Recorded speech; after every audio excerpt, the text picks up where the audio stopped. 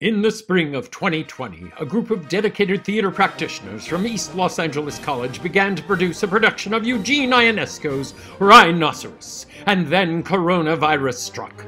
The production was cancelled! Did this stop our intrepid group of thespians? No!